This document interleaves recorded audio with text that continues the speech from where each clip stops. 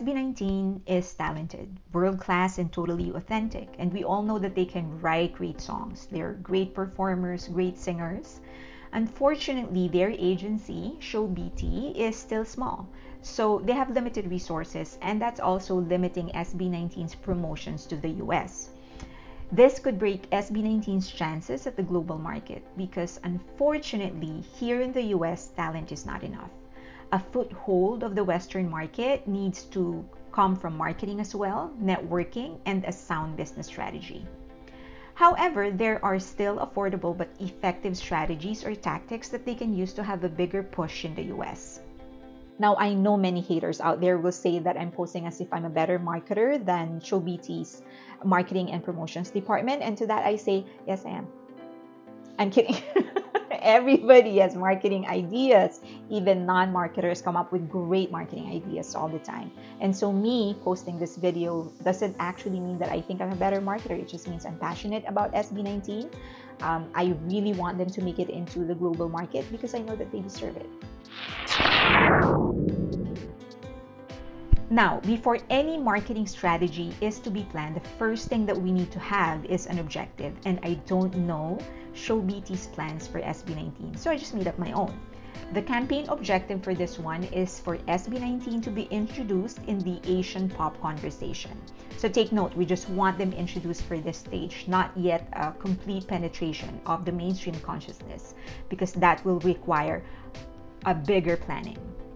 Also, do note that all objectives need to be measurable. With that out of the way, here's number one. Create an SB19 multiverse, a continuing story through their videos. People latch on to narratives. That's why the most memorable videos of all time have a story thriller, like a virgin, formation, etc. BTS elevated this by not just limiting the narrative to a song, but by connecting different songs and connecting different eras. It engages the fans because it makes them feel like they're a part of it as they try to uncover the unexplained parts of the story.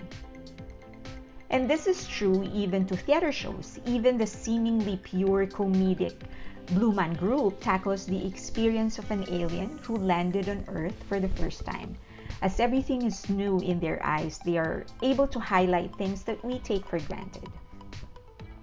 While some SB19 videos have moments, a full narrative will evoke more attachment from the viewers and highlight the beautiful messages they already have in their songs. Even better is the fact that a good visual storytelling transcends language barriers. That gives them a way into other countries. Number two, documentary. Contrary to belief, YouTube rarely funds a documentary. Usually, a production company creates their documentary and then pitches it to different streaming services like YouTube or Netflix for distribution. It's about time Show BT creates a documentary on the story of SB19's formation, and they better be putting some heart in it. I want to hear about their life as artists before they auditioned how they were chosen, the training process, the struggles of artistic growth, how far they have come, and how far they are from where they want to be. I want to cry. I want to laugh. I want to feel inspired and feel mad and fall in love. Okay, not to them personally, but to the artist that they want to become and the success that they actually deserve. Number three, content creator tour. I heard Show BT is very picky on where to send SB19 for interviews, and understandably so. SB19 is royalty. They're probably the most successful Filipino musical act at the moment. But they shouldn't let that get in the way of expanding SB19's exposure, especially in the US. This is really a different market. In the absence of US mainstream media invitation, I would reach out to YouTube content creators or social media influencers a channel that gets like a million followers, I'm sure won't snub a big act like SB19. And that would give SB19 exposure to people they wouldn't have access to otherwise. There is also the standard conversion rate salespeople use. This is the amount of people that will convert or do an action you want them to do. In this case, the action is that we want them to listen to SB19's music. So just want to clarify that conversion is actually the action that you want the audience or target market to do in relation to the product that you are selling. So many air quotes, but totally necessary. So in this case, the product is their music. So if uh, they manage to get interviewed by a YouTube channel that constantly gets 1 million views, then the 1 million audience will become their target market, and 0.3 to 3% of that will most likely convert. And in this case, that means that 0.3 to 3% will most likely listen to their music. Number four, Filipino or Asian local TV shows. There are satellite shows in the US. These are shows that are broadcasted in the whole country.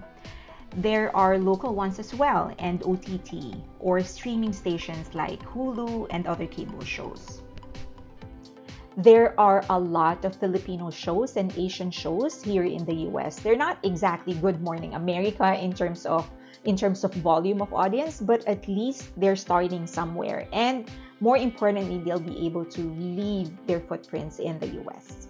Number five, organize and empower fan clubs.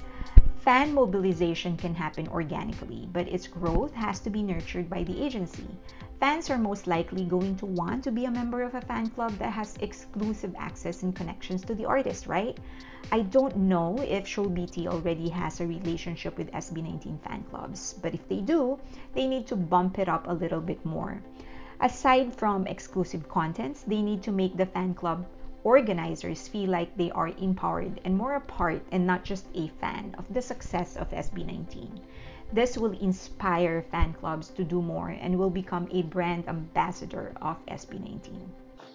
And that's it. I would love to create a narrative for them. My dream is to be able to create a story for them. I would love to add that to the 5,000 things I'm already doing.